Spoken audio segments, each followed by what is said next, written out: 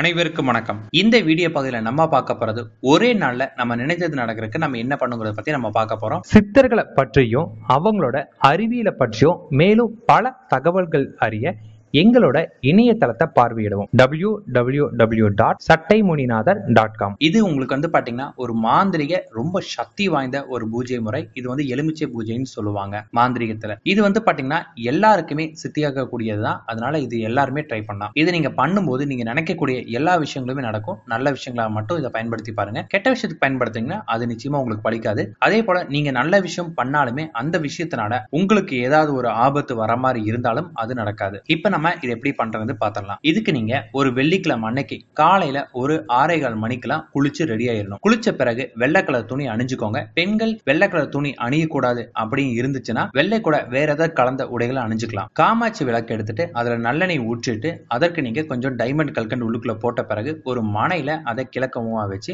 விளக்கேற்றுங்க. விளக்குல இருந்து ஒரு நாலு அடி தூரம் தள்ளிட்டு ஒரு தர்பை புல் பாய் வாங்கிக்கோங்க. இந்த பாய் வந்து பாத்தீங்கன்னா கோவில் இருக்கக்கூடிய பூஜை பொருட்களை விற்கக்கூடிய இடத்துல கேட்டீங்கன்னா கண்டிப்பாங்க கிடைக்கும். இதோட விலை வந்து பாத்தீங்கன்னா ஒரு ஐம்பத்தஞ்சுல இருந்து அறுபது ரூபா வரும். நான் ஐம்பத்தஞ்சு ரூபாய்க்கு வாங்கினேன். அதை வாங்கிக்கோங்க. அதன் பிறகு நீங்க ஒரு எலுமிச்சை பழத்தை ஒன்று வாங்கி வச்சுக்கோங்க. எலுமிச்சை பழத்தை இந்த மாதிரி மாந்திரிக காரியங்களுக்கு வாங்கும்போது அதோட விலை எவ்வளவுன்னு கேட்காம வாங்குங்க. அதே போல அந்த கனியில வந்து பாத்தீங்கன்னா எந்த விதமான கரும்புள்ளிகள் இல்லாம பாத்துக்கோங்க. அடுத்தது அந்த ஒளியில இருந்து நீங்க ஒரு நாலு அடி தூரம் தள்ளி இருக்க தர்பி உட்காந்துட்டு உட்கார்ந்துட்டு அந்த ஒளியவே நீங்க பார்க்கணும் கண்களை எக்காந்து கொண்டு சிமுண்டாம அகஸ்தியர் மந்திரம் ஜெபிக்கணும். மந்திரம் ஓம் ரிங் ஆகர்ஷிய ஆகர்ஷிய தேசி பழம் ஆகர்ஷிய வாவா ஸ்வாகா இதுதான் மந்திரம். இந்த மந்திரத்தை நூற்றி எட்டு முறை ஜபம் செய்யணும். ஜபம் செஞ்ச பிறகு நீங்க கனிய விளக்கோட பாதத்துல வச்சுட்டு திரும்பியும் நீங்க அந்த விரிப்புல வந்து அமர்ந்துக்கிட்டு உங்களுக்கு எந்த முத்திரை உங்களுக்கு நல்லா இருக்கும் அந்த முத்திரை நீங்க கை வச்ச பிறகு உங்களோட கண்களை மூடிட்டு உங்களுடைய முழு மனதையும் கவனத்தையும் நீங்க உங்களோட பூர்வ மற்றில் நிறுத்தணும். பிறகு உங்களால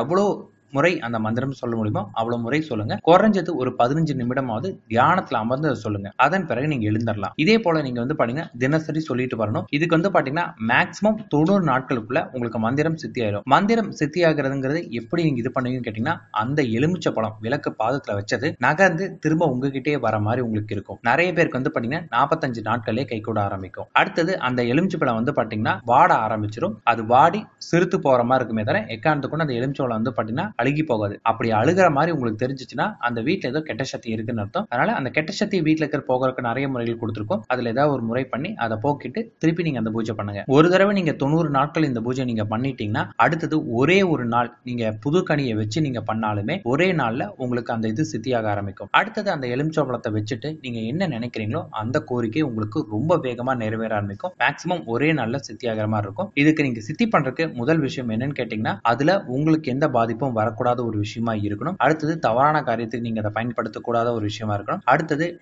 இதை நீங்கள் பண்ணுறதுக்கும் தகுதியானவராக இருக்கணும். ஃபார் எக்ஸாம்பிள் வந்து பார்த்தீங்கன்னா தகுதிங்கிறது எதை வச்சு சொல்கிறேன்னா இப்போ இருக்கிற காலகட்டத்துக்கு. இப்போ வந்து பார்த்தீங்கன்னா நீங்கள் வந்து ஒரு மாதத்துக்கு வந்து பார்த்தீங்கன்னா ஒரு ஐம்பதாயிரம் ரூபாய் சம்பாதிக்கிறீங்க. அப்படின்னா எனக்கு வந்து பார்த்தீங்கன்னா ஒரு அஞ்சு லட்ச ரூபா வேணும்னு கேட்டிங்கன்னா உங்களுக்கு கிடைக்கும். நீங்கள் வந்து பார்த்தீங்கன்னா எனக்கு ஒரே டைமில் ஐம்பது கோடி ரூபா வேணும்னு கேட்டிங்கன்னா அது உங்களுக்கு வந்து கிடைக்காது. ஆனால் நான் சொல்கிறது இப்போ இருக்கிற காலகட்டத்துக்கு தான். இது ஃபியூச்சரில் உங்களுக்கு கிடைக்கிற மாதிரி இருக்கலாம். அதே போல் இந்த மந்திரத்தை ஒரு லட்சத்தி இருபத்தஞ்சாயிரம் முறை உருவேற்றிட்டீங்கன்னா இது மிக சக்தி வாய்ந்ததாக இருக்கும். அதன் பிறகு நீங்கள் உங்க கையில எந்த ஒரு எலுமிச்சை பழத்தை வச்சுட்டு நூற்றி எட்டு முறை இந்த மந்திரம் ஜபிச்சாவே அந்த எலுமிச்சை பழத்துக்கு உயிர் வர ஆரம்பிக்கும். அதை நீங்க கண்டிப்பாக உங்களோட பூஜை அறையில வைக்கிறதா இருந்தாலும் வைக்கலாம். இல்லாட்டி நீங்க பணம் வைக்கக்கூடிய பணப்பெட்டியில வச்சாலும் இது பல மடங்கா பெருக ஆரம்பிக்கும் உங்களோட எண்ண ஒருமைப்பட்டனால. இதே போல இதை நீங்க அடுத்தவங்களுக்கு செஞ்சு கொடுக்கலாம்.